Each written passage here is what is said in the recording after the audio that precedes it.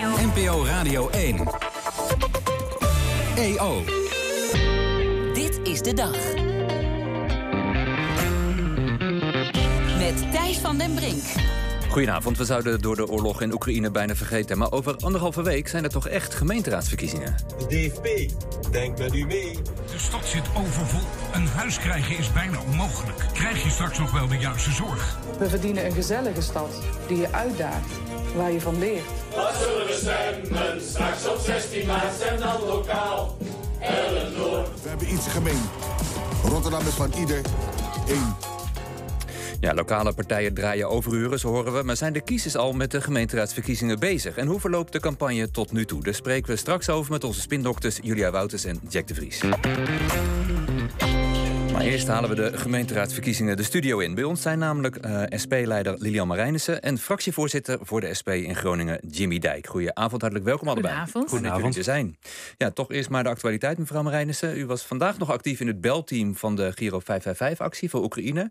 Hoe was het? Wat hoorde u voor verhalen? Indrukwekkend. Ja? Ja, ehm, eigenlijk gaf iedereen wel aan, ehm, ik voel me zo onmachtig. Ik zie die beelden op tv, hoorde ik heel vaak. En dat vind ik verschrikkelijk en ik wil heel graag iets doen. En toch wel heel mooi en heel fijn dat we dan vandaag, al is het maar een klein beetje, toch samen wat kunnen doen. Dat Ja. is ongeveer de meest gehoorde boodschap. Ja. Oké. Het, het is ondertussen ook uh, gemeenteraadscampagne tijd. Wat hoort u op straat? Nou, daar maken mensen zich natuurlijk ook zorgen over wat er in Oekraïne gebeurt. Mensen leven heel erg mee. En tegelijkertijd merk ik ook wel, ja, de reële problemen van mensen, die zijn natuurlijk ook niet weg. Hè? Nee. Ik bedoel, eh, de energierekening is nu heel actueel bijvoorbeeld. Maar laten we niet vergeten, dat was al een groot probleem voordat Poetin Oekraïne binnenviel natuurlijk. en die problemen worden nu alleen maar groter. Dus ik hoop wel heel erg dat er de komende dagen er toch ook eh, ruimte zal zijn om het over die onderwerpen te hebben. Want mensen gaan wel voor de komende vier jaar stemmen Ja. voor hun lokale bestuur. Ja, dus u zegt wel gewoon vol door met die campagne. En niet vanwege de oorlog, maar een beetje rustig aan doen? Nou, we hebben bijvoorbeeld afgelopen zaterdag een grote manifestatie Ja. georganiseerd in Den Haag. Samen met de Partij voor de Dieren onder de noemer Stop de Oorlog. Waarbij we zowel mensen van Russische als Oekraïnse komaf van het podium eh, hadden, op het podium hadden. Dus dat doen we ook. Maar tegelijkertijd ja, gaat de campagne voor de gemeenteraadsverkiezingen ook door. Al is het maar omdat volgende week de stembussen gewoon open gaan. Ja, dus die moet toch wel gewoon doorgaan. Even over die demonstraties. Eh, Nederland heeft wapens naar de Oekraïne gestuurd. U was daar niet voor, hè, begreep ik? Nou, wij hebben wel de vraag op tafel gelegd of eh, een verdere ehm, ja, inzet van geweld, of dat een oplossing dichterbij brengt. Dat is natuurlijk wel een hele reële vraag om eh, te stellen. Je wilt uiteindelijk niet in een soort van wapenwedloop belanden, eh, want daar wordt de wereld helaas ook niet veilig. Nee, maar je wilt ook niet dat Rusland Oekraïne binnenloopt. Klopt, en dat is een ontzettend moeilijk dilemma. En natuurlijk, je wilt ook niet naïef zijn daarin. En eh, Poetin moet gestopt worden.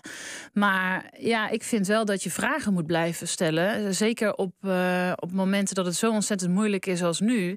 En ja, de vraag als jij eh, bijvoorbeeld de oorlog die nu woedt tussen Rusland en Oekraïne, als dat een grotere oorlog wordt, waar bijvoorbeeld nog meer landen bij betrokken worden. Ja, dan betekent dat ook dat er gewoon nog meer mensen, gewone mensen, hè, want het is nooit de politieke Ja. elite die tot de oorlog besluit die de dupe is. Het zijn altijd de gewone mensen. Ja, dat nog meer mensen daar de dupe van worden. Ja, maar u, u, u kunt vragen stellen, dat is heel goed. Maar u stemt ook gewoon in de Kamer. En u stemt dan tegen die wapenleveranties aan Oekraïne. Nou, we, hebben, we zijn daar nu niet voor gaan liggen. Maar we hebben wel gezegd, eh, we vinden dat we daar heel voorzichtig mee moeten zijn. Ja. En als ik nu zie toch wel het enthousiasme waarmee bepaalde partijen bijvoorbeeld nu ook roepen van goh, Oekraïne zou nou maar versneld eh, lid moeten Ja. worden, bijvoorbeeld van de Europese Unie. Mevrouw von der Leyen zei dat vorige Ja, week. en ook een, een groot deel van de Kamer. En ook andere linkse partijen die nu zeggen: ja, we moeten nu opeens flink veel meer geld gaan investeren in defensie. Ja, daar zijn wij dus niet voor. Als je weet dat. ehm, Maar wat is dan uw alternatief? Want eh, Poetin is, is, een, is tamelijk onberekenbaar. onberekenbaar. Ja. We hadden niet gedacht dat die Oekraïne in zich hadden. Stel, er valt de Baltische Staten binnen. Wat doen we dan? Ja, maar tegelijkertijd is de waarheid ook zo dat eh, de NAVO, eh, ik geloof wel 17 keer meer aan defensie uitgeeft dan Rusland. Alleen het Europese deel van de NAVO al vier tot vijf keer meer uitgeeft. U zegt, we kunnen dan- ze wel aan zonder extra investeringen. Nou ja, de vraag is dus, denk ik, heel legitiem om te stellen. Ja, is dan nog meer investeren in een verdere wapenwetloop, nog meer investeren in defensie, is dat dan de oplossing? Ja, dat denken wij niet. Nee, maar, maar stel dat eh, eh, Poetin eh, die Baltische staten binnenvalt, ja, dan zijn wij onderdeel van het conflict, want dat zijn NAVO-landen. Ja, tuurlijk. En, en, mogen we ons dan verdedigen van u? ja, zeker, natuurlijk. We moeten onze buitengrenzen van de NAVO verdedigen. u weet misschien, wij hebben ook zo onze kritiek op de NAVO. Zeker, maar u zijn niet meer tegen, hè? dat was vroeger. Wij hebben inderdaad vroeger het standpunt gehad dat we uit de NAVO moesten. we hebben nu nog steeds heel veel kritiek op de NAVO, maar dan met name de agressieve oorlogen die uit naam van de NAVO ook zijn gevoerd. Ook dat, laten we dat niet vergeten, waren illegale, foute oorlogen waar de NAVO gewoon verantwoordelijk voor was.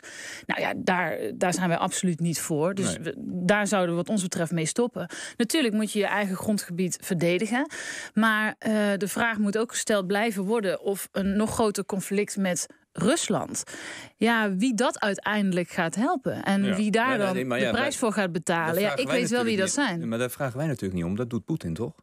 Zeker, dat, is volstrekt helder. Er is maar één iemand hiervoor verantwoordelijk en dat is Poetin. Dus, dus die heeft gekozen voor een illegale oorlog en die moet gestopt worden. Ja, dus op het moment dat hij andere landen aanvalt, NAVO-landen, dan zegt u, dan staan wij wel, zij en zij, ook militair om de NAVO-landen te verdedigen. Ja, en je wilt natuurlijk voorkomen dat het zover komt. Want ik, om heel eerlijk te zijn, ja, vind ik het al heel lastig om daarover na te denken. want u weet ook. dat het gaat verschrikkelijk zijn als dat gaat gebeuren. Als wij in een rechtstreekse oorlog belanden als NAVO-onderdeel eh, met Rusland, dan zijn de gevolgen niet te overzien. En juist daarom zeggen wij: moet je nu alles op alles zetten uh, om in te zetten op de-escalatie. En dan niet bijvoorbeeld van die uitspraken als van Van, van der Leyen van de EU. Dat, helpt absoluut niet. Dat is olie op het vuur. Doe dat nou niet. Zet nou alles in op een wapenstilstand. Die moet er komen. Ja. Meneer Dijk, hoe bleef u het debat over Oekraïne? Want u, bent, u probeert natuurlijk campagne te voeren lokaal. En dan gaat het maar over die oorlog. Nou, het verschilt heel erg. Uh, het verschilt ook welke buurt je ingaat. Uh, want het klopt inderdaad. De meeste, meeste mensen in, uh, in volksbuurten bijvoorbeeld zijn gewoon met hele reële problemen bezig. Als de energierekening die door het dak heen gaat. maar ook gewoon de warmte die door het dak heen gaat, omdat de woningen niet geïsoleerd zijn. Ja. En zijn, zijn de mensen in armere wijken meer bezig met de gewone problemen en de mensen in de rijkere wijze meer met de oorlog?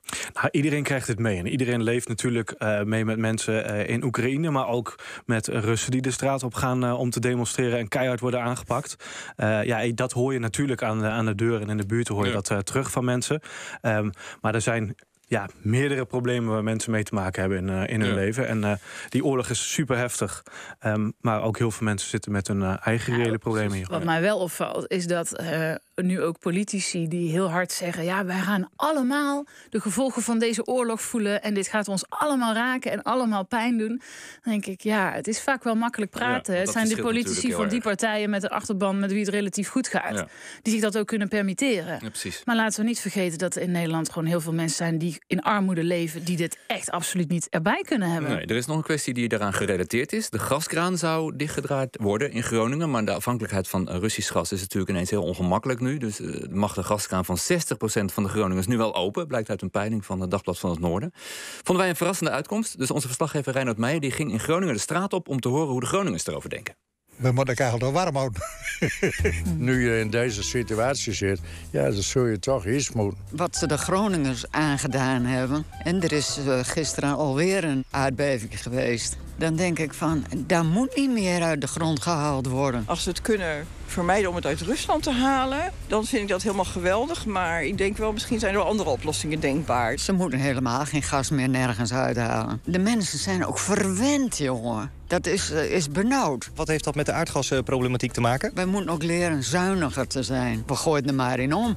En nu zegt 60% van de Groningers, haal het dan hier maar weer op. Ja, de gunnen Groningers, eh, de Nederlanders, toch meer dan Ruslands. U dus ook? Ik ook. Mijn idee, uh, goede gaskruin hier ook, men houden hier. In Nederland? Ja, de winst van de aardgas. Maar ook terug naar de Groningse weer gaan, naar de aardbevingsgebieden, zeg maar. Zolang dat gebeurt, vindt u het prima? Ja, als er niet zoveel uh, gekke dingen gebeuren. U vindt het wel belangrijk dat we niet langer gas uit, uh, uit Rusland importeren? Vind ik belangrijk, ja. Dan maar hier uit de provincie. Precies, klopt. Ze zeggen wel eens van die Groningers zijn heel stug, maar als ik dit zo hoor... Groningen is nuchter, hè? Die, die bekijken het van alle kanten. Het is niet anders. We worden ermee geconfronteerd op dit moment. Snijd dat lijntje met Rusland maar door. In zee drijven laten. Wat, Rusland? Ja. Ja, meneer Dijk, dit, dit is toch wel een opmerkelijk signaal van uw provinciegenoten. Ja. ja, het eigenlijk verbaast het mij helemaal niet. Uh, ik kom rechtstreeks uit het aardbevingsgebied. Uh, ik ken Groningers als ontzettend solidaire uh, mensen. zij weten ook wat het is om letterlijk klappen te krijgen. Um, ja, en als ze zien dat andere mensen ook harde klappen krijgen, dan zien ze dat er, dat er hulp nodig is. Dus het verbaast mij niets. aan de andere kant. Nou ja, het is niet zozeer hulp nodig is. Ze zeggen van ja, dan ons gas maar. Dan zijn we tenminste minder afhankelijk van Poetin. Ja, ik snap de reactie van, van Groningers. Ondanks dat het ja, gewoon onveilig is om meer gas uit, uit Groningen te winnen. We zien het uh, afgelopen dagen ook weer een, uh, een, aardbeving. Weer veel scheuren, veel schade bij mensen. Afgelopen zaterdag stond ik bij uh, 50, met 50 Groningers in ten boer over de versterking... die Ja. gewoon totaal niet op gang eh, komt. En toch Dus- zegt een groot deel van de Groningers... Ja, het zijn solidaire mensen. Zij zien het als anderen in moeten we de het dan ook serieus nemen of niet? Nou, kijk, eh, eh, volgens mij moeten we het absoluut niet doen. Eh, en is het ook helemaal niet nodig. Eh, ik hoorde net een mevrouw zeggen, die zei van... eh, ja, we, eh, weet je nou, we hebben ook heel veel welvaart. Ja, als wij willen gaan kijken hoe je eh, anders om moet gaan met energie... dan moeten we niet meer aan de gaskraan zitten... maar moeten we gaan kijken of we bijvoorbeeld grote bedrijven... minder moeten laten besparen. Dan is het helemaal niet nodig om meer gas uit Groningen te gaan winnen. En dan kunnen we er ook voor zorgen, want dat zou mooi dat zijn. maakt toch niet uit voor de enorme vraag naar eh, energie... die er wereldwijd ook is? Nee, nou, dat en klopt, zeker in dat Europa klopt, Dat ook. klopt, maar voor Nederland geldt dat wel. Als wij willen dat, eh, als wij willen dat bijvoorbeeld de woningen eh, versterkt worden... waardoor ze veilig zijn om veilig uit je huis te komen als er een aardbeving Ja. komt, dat is het. Hè? Dus het is niet per se dat je huis blijft staan. Je hebt dan de tijd om je huis te verlaten. Ja, er staan nog 25.000 woningen. En die solidariteit die Groningers nu net in dit fragment eh, eh, eh, ja, vertellen... Het zou mooi zijn als het kabinet ook een keer zo solidair zou zijn Maar met u, zegt ze zijn solidair, maar neem het niet letterlijk wat ze zeggen. Nou, het zou mooi zijn als het kabinet hiernaar luistert en hoort hoe solidair Groningers zijn. En dat het kabinet ook gewoon besluit om ja, die versterkingsoperatie snel eh, op gang te brengen. Want dat is gewoon een drama. Ik, heb het, ik heb het afgelopen zaterdag weer Nee, meegemaakt. dat- dat is Eh, en dan zie je dat de ene kant van de straat wel versterkt wordt en de andere kant van de straat niet. Ja, dat is ongelijkheid en mensen tegen elkaar uitspelen. En dat is wel wat er hier gebeurt. Mevrouw Marijnus, z- zouden we daar toch weer over na moeten denken? Extra gas uit Groningen? Nee, dat lijkt mij een heel slecht idee. Sowieso niet doen? Nee, eh, al is het maar omdat eh, er steeds naar de Groningers wordt gekeken. Hoeveel is er? 400 miljard, geloof ik? Meer dan Uiteindelijk. 400 miljard euro. Meer dan, laat het even Mm. tot je doordringen. Hè. Meer dan 400 miljard euro heeft de Nederlandse staat al aan die Groningers verdiend. Nee, er zit nog 750 Ja. miljard in, geloof ik, in de grond. Dat zal. Tegen de huidige eh, gasprijs. Ja, als de Groningers goed vinden en we zorgen goed voor ze... zullen veel mensen denken. Ja, maar dat is natuurlijk het punt. We zorgen helemaal niet goed Nee, voor dat ze. moeten we dan wel Ik, eh, regelen. een paar weken geleden was ik eh, aanwezig bij de fakkeltocht in, eh, Hmm. in Groningen. En dat was, los van dat het super indrukwekkend was, was dat het meest gehoorde. Dat daar kwam de boosheid vandaan. Dat die Groningers allemaal zeiden van ja, weet je, elke keer wordt er weer naar ons gekeken. Elke keer zijn wij gewoon weer de lul. En als ook iedereen zei, wat als dit in Den Haag of Amsterdam hè, of in de Randstad was gebeurd? Nou, no die- way dat ze dan zo met mensen om zouden zijn. Wat zegt zo'n peiling u dan? Nou, wat Jimmy denk ik zegt. Dat, Dat mensen ze zijn heel solidair, solidair maar ze zijn menen en het niet. Uiteindelijk, nou, ik denk, wel, ik denk wel dat ze het menen. Natuurlijk, ik geloof dat mensen eerlijk zijn en dat ze het menen en dat ze solidair zijn. En als het uiteindelijk eh, op het, al, in het allerlaatste ergste scenario nog zou moeten, dat, dat mensen het ook nog zouden willen. Maar dat wil natuurlijk niet zeggen dat de Nederlandse staat, dat wij zo'n keuze zouden moeten maken. Nee. Nee, dat moeten we niet willen. Nee, en bovendien er zijn genoeg andere oplossingen. Hè? Ik bedoel, er zijn heel veel manieren om energie op te wekken. Laten we eens gaan kijken waar wij in Nederland onze energie aan besteden.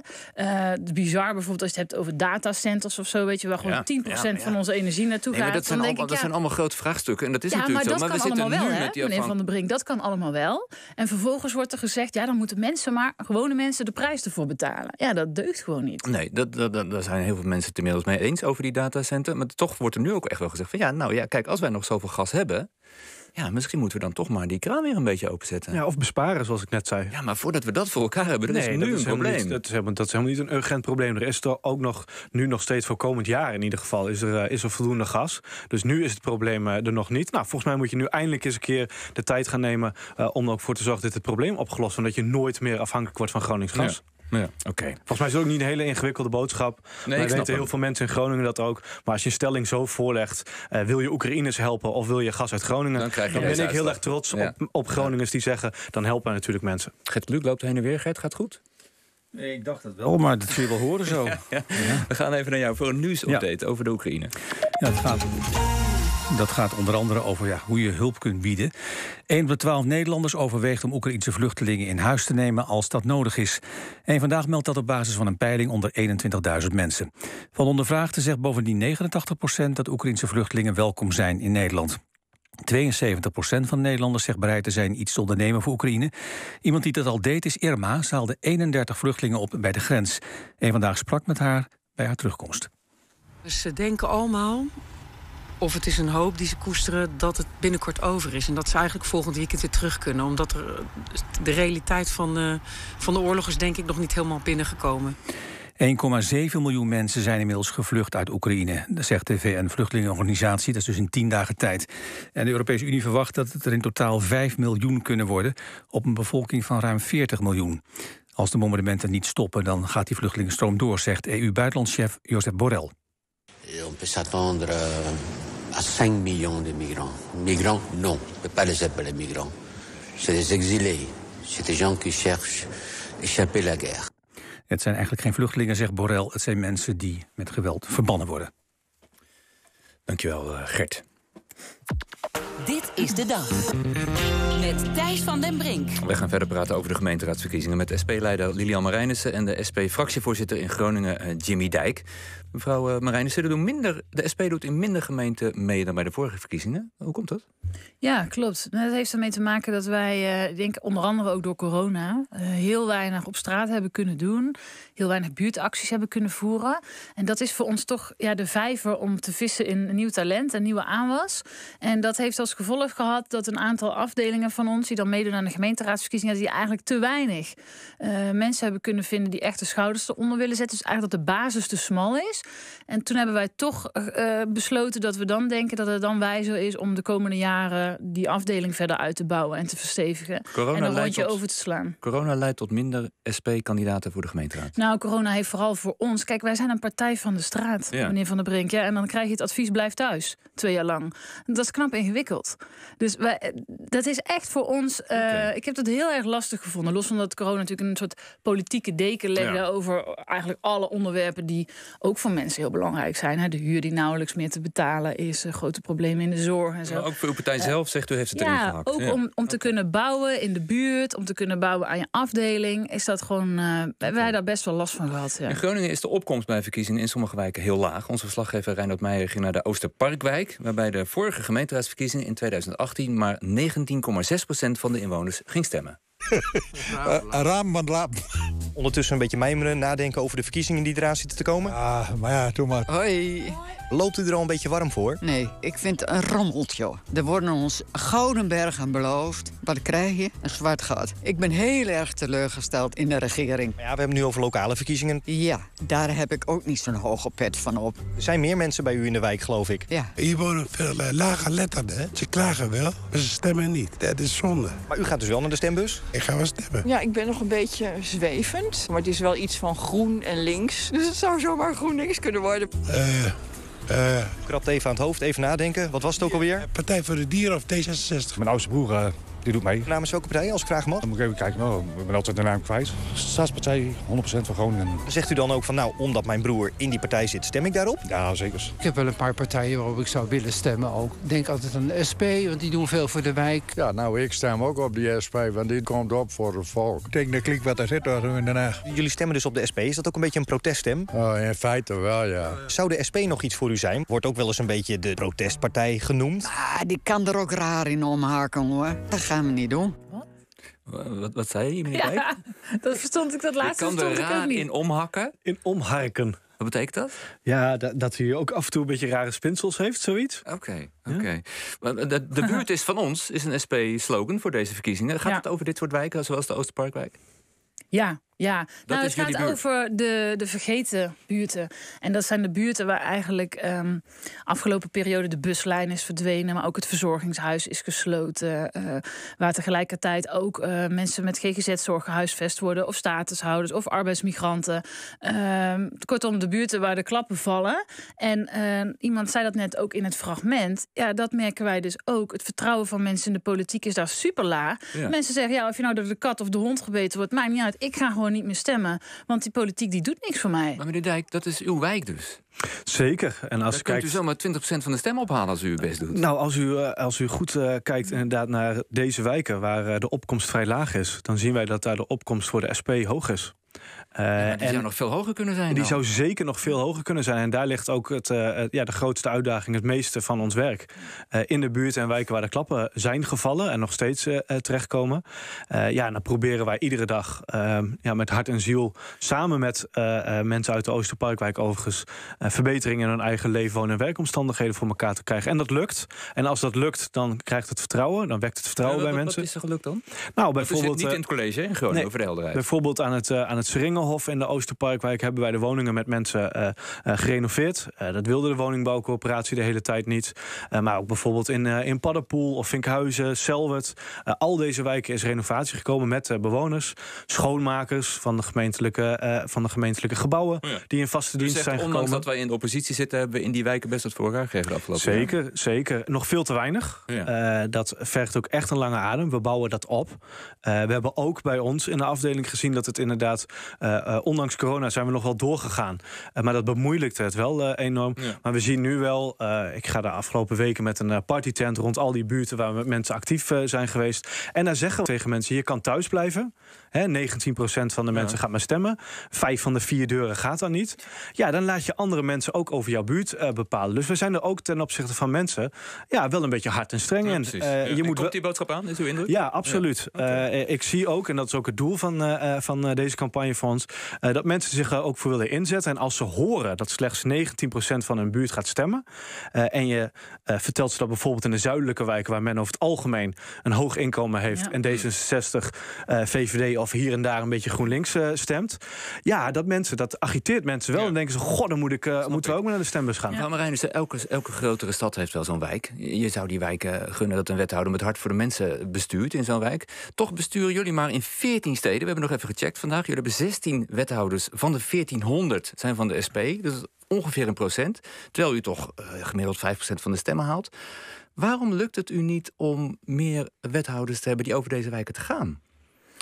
Waar zit hem dat in? Eh, ja, dat zit natuurlijk altijd in meerdere dingen. Dat zit hem in eerste instantie in de uitslag. Dus de periode hiervoor hebben wij heel veel wethouders geleverd. Eh, de keer daarna hebben wij mindere uitslag gehaald. Ja, dan, Ja, kun je 1%, ook op mindere, plek, 1% minder plekken in het wethouders, eh, 5% van de bestuur stemmen. komen. Ja. Ja, maar dat heeft er misschien ook weer mee te maken dat wij als SP, wij zijn geen aanschuifpartij. Weet je, wij zijn geen middenpartij. Als het een beetje zo is en een beetje zo, dan kunnen wij wel meedoen. Nee, wij, wij besturen op het moment dat we echt het verschil kunnen Ja. maken. Bijvoorbeeld in Heerlen besturen we. Nou, daar organiseren we nou een zorg zonder markt. Ja, dat is voor ons echt super belangrijk. Daar is veel debat over dat dat niet zou kunnen. Wij laten daar in de praktijk zien dat het wel kan. Maar ik- ik ja, dat zijn mij- voor ons belangrijke dingen. Ik herinner mij dat wij een jaar geleden dit gesprek ook ongeveer hebben gevoerd. Ik herinner mij dat Toen gesprek was ook. ik de ja. wijk in geweest en toen zei ik... die mensen die zitten op u Ja. te wachten, sluit nou compromissen. Ja. Doe het nou eens. U doet het dus kennelijk in de gemeente ook niet. Wat kunt u zelf doen zodat u toch op meer partijen het voor het zeggen krijgt? Nou, ik denk dat wat Jimmy zegt, dat klopt. Wij moeten ervoor zorgen dat in die wijken... Waar, er zijn dus wijken waar bijna de helft van de mensen SP stemt...